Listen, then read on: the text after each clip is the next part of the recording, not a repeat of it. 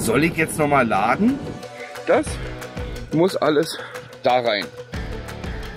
In, in den Pressewagen den ganzen Müll reinladen. es ändert sich doch sowieso nichts für euch. Warten, hat er sich gestresst gefühlt?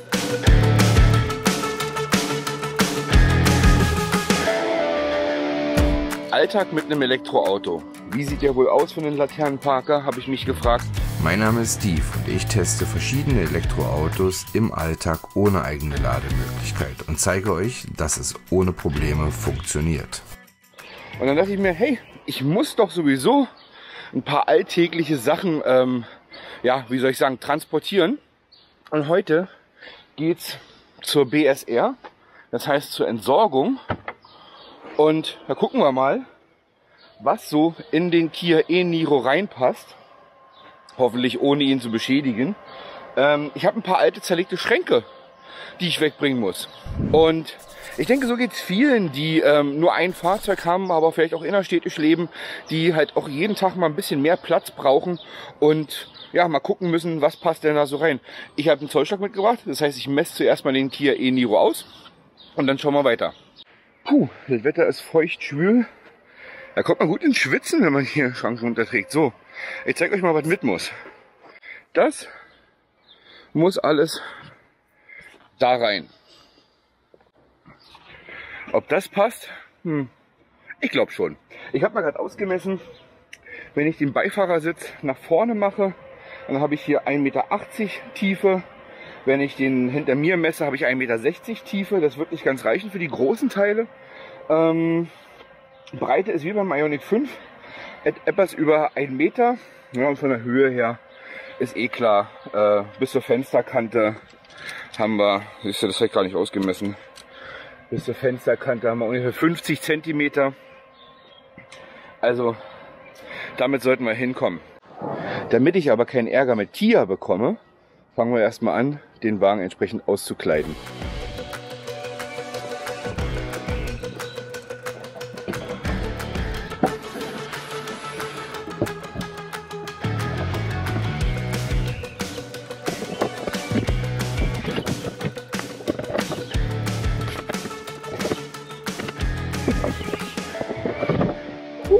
Mir warm.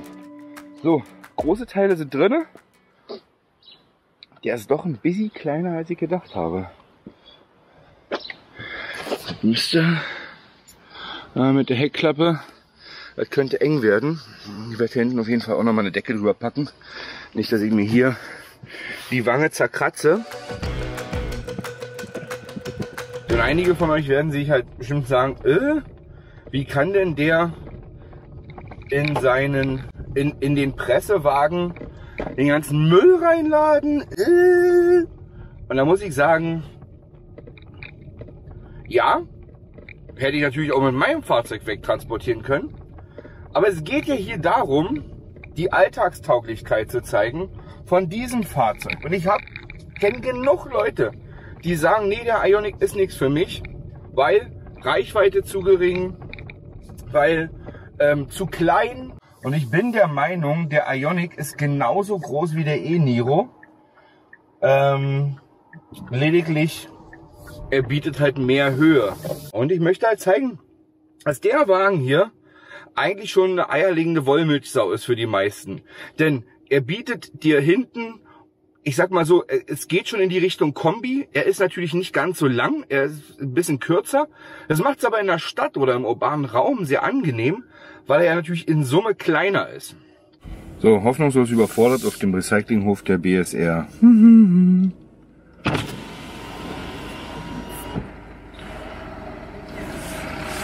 Hier drücken. Und dann drücken wir mal da. Wir jetzt hier schon Parkgebühren bezahlen oder was? ja, wie läuft das? Einmal die gesammelten Werke von Ikea, Pressspan. Also nur das oder Nur das. Alkoholcontainers ausgeschildert, ja? Alles klar, danke. Mm-hmm.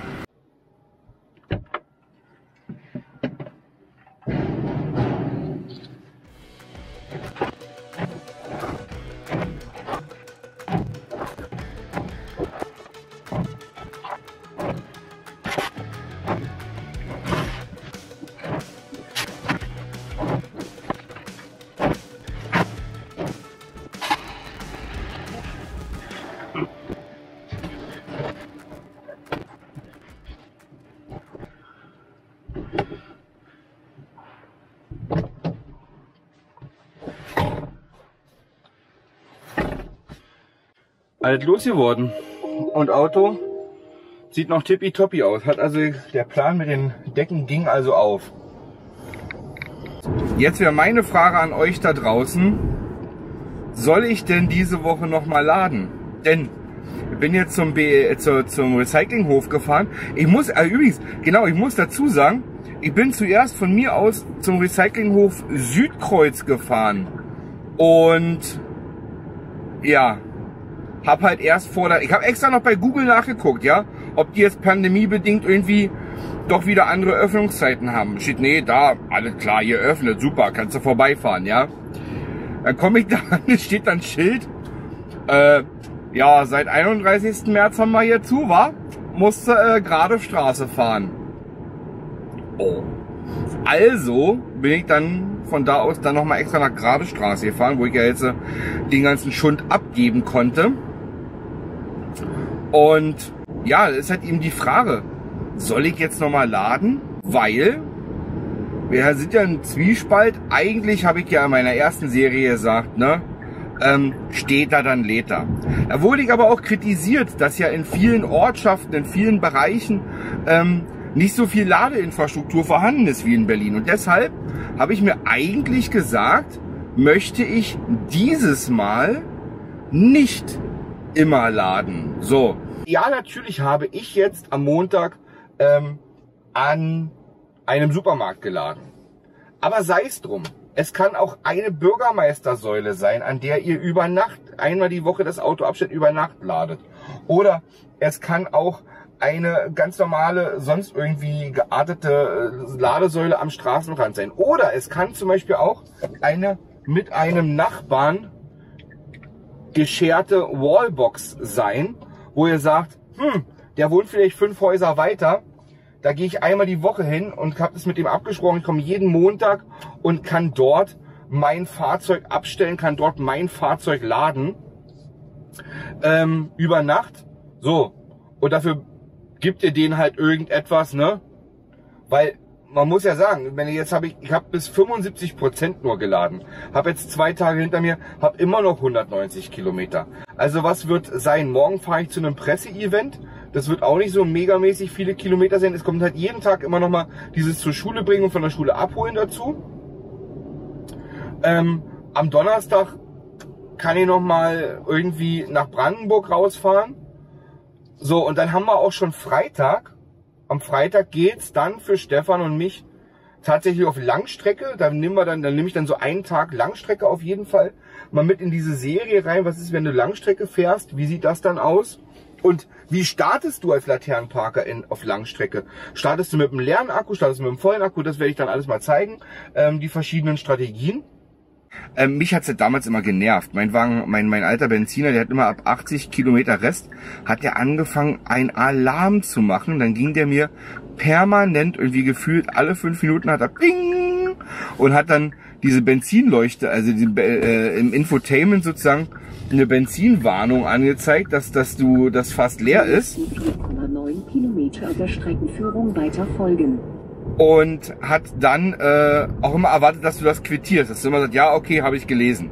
Es kam auch letztens mal ein Kommentar von wegen, ja, weil das so gefährlich ist, ohne Strom liegen zu bleiben, deshalb warnen ja die E-Autos schon so früh.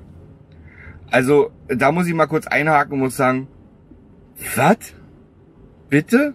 Äh, mein Ionic, ja, der hat ja mit 28 Kilowattstunden jetzt bei Weitem keinen gigantisch großen Akku. Und der warnt mich bei, ich glaube, bei das erste Mal bei 14% Rest. Das sind beim Ionic, ne, 14% könnt ihr euch selber ausrechnen, wie viel Kilometer das ist, wenn er im Winter, im Winter 180 Kilometer schafft und im Sommer 220 Kilometer. Äh, sorry, aber da hat mich bisher jeder Verbrenner früher in den Wahnsinn getrieben, dass ihnen bald äh, der Saft ausgeht. Ne? Also wo solche Kommentare herkommen, weiß ich nicht. Ich bin jetzt übrigens keiner, der sagt, irgendwie für diesen Test wird ökologisiert. Ne? Wir haben die ganze Zeit draußen, also heute ist der erste einigermaßen kühle Tag mit 22 Grad. Wir haben die ganze Zeit draußen ähm, 35 und mehr Grad. Das heißt also, da muss dann auch durchaus mal der Akku gekühlt werden. Ähm, respektive hier drinne, ich, hab, ich nutze permanent äh, den Komfort der Vorklimatisierung. Das heißt also, dass ich in kein warmes Fahrzeug steige, sondern dass ich in ein vorgekühltes Fahrzeug steige, dass ich den Wagen per App natürlich vorher ähm, runterkühle. Weil in meinem Wagen habe ich belüftete Sitze, das hat diese Ausstellungsvariante jetzt hier nicht, aber ich merke, dass wenn ich natürlich per App vorkühlen kann, dass das durchaus die, die belüfteten Sitze kompensiert. Belüftete Sitze, ja klar, bräuchten weniger Strom, als wenn du die Klimaanlage irgendwie 10 Minuten vorher laufen lässt. Aber hey, ich meine, es ist gut für euch. Ne? Ich lasse jetzt die ganzen Tage die Klimaanlage 10 Minuten vorher laufen und verbrauche sozusagen nochmal extra Strom. Fahre bei Weitem überhaupt nicht sparsam. Also ich nutze auch den Spaß, den diese über 200 PS, glaube ich, was der E-Niro hat hier, ähm, bieten. Ich mache auch Ampelsprints. Ich, ja, fahre halt ganz normal. Hab jetzt hier die Klima an. So, wenn jetzt, wenn die Kamera nicht laufen würde, hätte ich auch noch das Radio an. Wie kann denn ein, PKW langsamer sein als ein 45er Roller? Das, das werde ich nie verstehen. Wie, wie, wie, wie ein Auto von einem, auf einer 50er Strecke von einem 45er Roller überholt werden kann. Der Wagen aber zuvor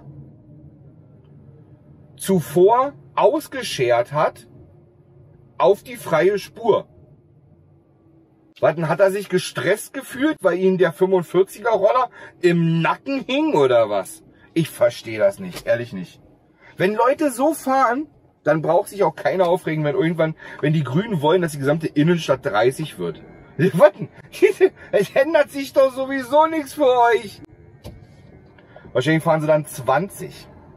Ich fahre jetzt nochmal zum Supermarkt, muss nochmal ein paar Kleinigkeiten holen. Es ist auch kein Supermarkt, bei dem man irgendwie laden kann. Ne? Also ist nicht so, dass wir nur Supermärkte haben, aber der liegt jetzt gerade auf dem Weg. Normalerweise bevorzuge ich die, wo ich laden kann. Aber ja, der liegt jetzt halt einfach auf dem Weg und ich brauche nur eine Kleinigkeit. Deshalb werde ich die dann noch holen. Ich bedanke mich fürs Zuschauen. Ich hoffe, es war nicht allzu langweilig in meiner langweiligsten Serie, äh, meiner dritten langweiligsten Serie, die jemals auf YouTube stattgefunden hat. Ich glaube, langweiliger ist einfach nur noch irgendwie ähm, einem Brot beim Schimmeln zuzugucken. Aber darum geht es, zu zeigen, wie unaufgeregt Elektromobilität im Alltag tatsächlich ist.